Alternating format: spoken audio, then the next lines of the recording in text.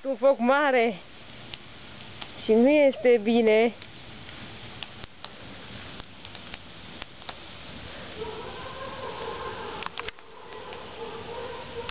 Frumos.